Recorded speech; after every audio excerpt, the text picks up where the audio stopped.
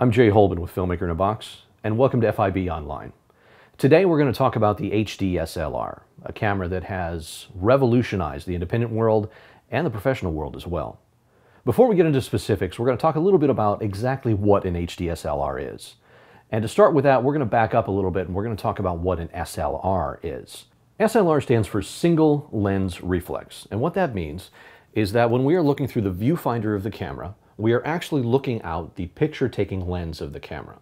This was different from parallax cameras in which they were a second viewfinder next to the lens, and what you were looking at was an approximation of what you were seeing through the actual picture-taking lens. In an SLR, what's happening is that there's a mirror in the camera behind the actual lens. This mirror bounces the image coming through the lens up to a prism and out the viewfinder. This allows the operator to actually be able to see out the physical lens in order to take a picture. This means you're actually seeing what you're taking the picture of. And it's also why when you're shooting with an SLR, when you take a photo, it suddenly goes black for a second because what happens is that mirror flips up in order to expose the film behind it. A DSLR means digital single lens reflex. And the difference there is that we are now, instead of using 35 millimeter film, we have moved it to a digital sensor. It's the same idea. We still have the picture taking lens here. Behind the picture taking lens, there is a mirror. The mirror bounces the light through the prism here so that you can see in the viewfinder. Now what gets a little complex here is that with digital cameras, we're looking at a digital image and it's also displayed on the digital screen, the LCD screen back here. This does not require a mirror.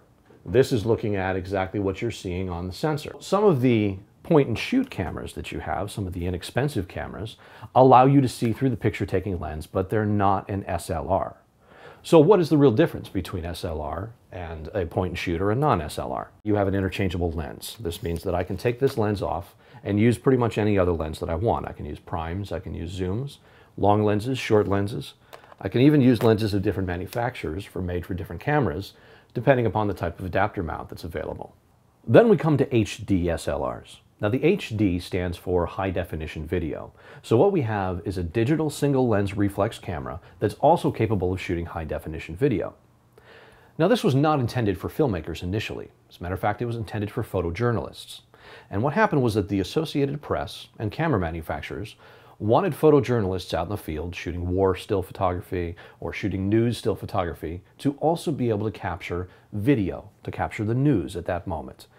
So Nikon was one of the first to incorporate this, and they incorporated HD2, which is 1280 by 720 video, into their D90 DSLR camera. This was in 2008. This didn't really take off with filmmakers yet. It was a little bit below what we're, we're used to in resolution-wise, and it only shot at 30 frames per second. And it wasn't really until Canon followed suit with this very shortly after, also in 2008, and announced the Canon EOS 5D Mark II. The Mark II shot 1920 by 1080 video at 30 frames per second.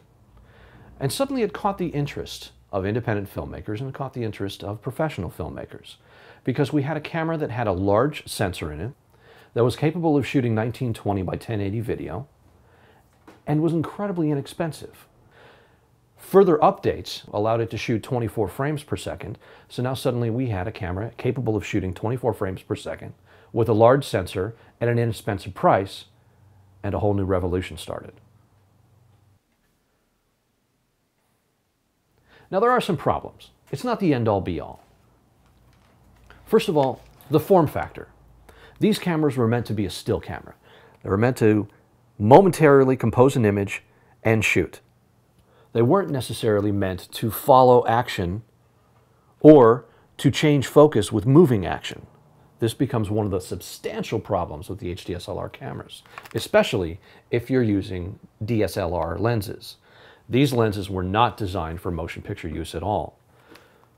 Changing focus with a moving subject with these lenses is incredibly difficult to do. Judging focus on this little teeny screen is incredibly difficult to do. So there's a bit of a compromise there. Now some manufacturers are making lenses for these cameras in a cinema style, which makes them a little bit easier.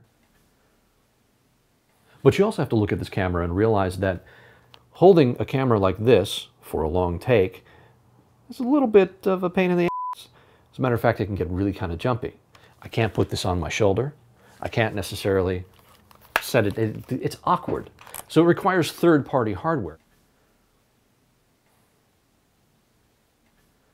There's also a compromise in the image. You're talking about a low bitrate format.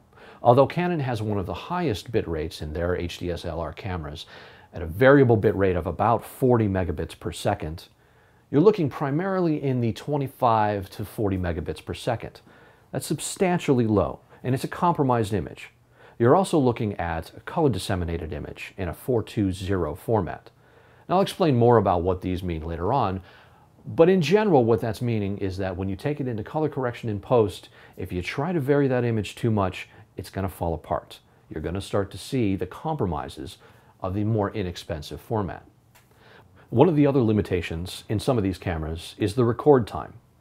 In most of the Canon cameras, you can only record a maximum of 12 minutes at a time.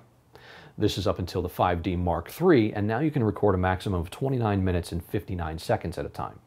Now that might seem like a lot, but if you're shooting a documentary interview, that can be a liability. You have to stop the subject and then start a new clip. One of the other considerations in the HDSLRs is their dynamic range. This means the amount of information within the frame that you can have between black and white. The dynamic range or the latitude of HDSLRs is compromised, which means that if you're out shooting in a bright sunny day, you're going to have a lot more contrast in the image than you would with a professional grade camera. These are some of the compromises that you have to keep in mind when you're looking at an HDSLR. But when you're comparing a price point of a couple of hundred dollars or $800 to tens of thousands of dollars, these compromises tend to not be so important. So there are some great benefits to HDSLR cameras. You have a large format sensor that's going to give you the emulated feel of motion picture film. You have an inexpensive high definition camera, interchangeable lenses to use a great wealth of Nikon, Canon, Sony, even some of the professional motion picture lenses are available for these cameras. But there are some compromises. The record time is a compromise. The bit rate is a compromise. The color dissemination or color integrity of the image is a compromise. These are things that you have to keep in mind. And the form factor is a compromise. Sometimes that's a benefit because you have a much smaller camera. You can tuck it in tighter spaces. Sometimes it's a problem. It's something you have to look at for your individual projects. We'll talk a little bit more about all of this in a segment on what's the best camera for you coming up on FIB Online. My name is Jay Holben, and thanks for joining me.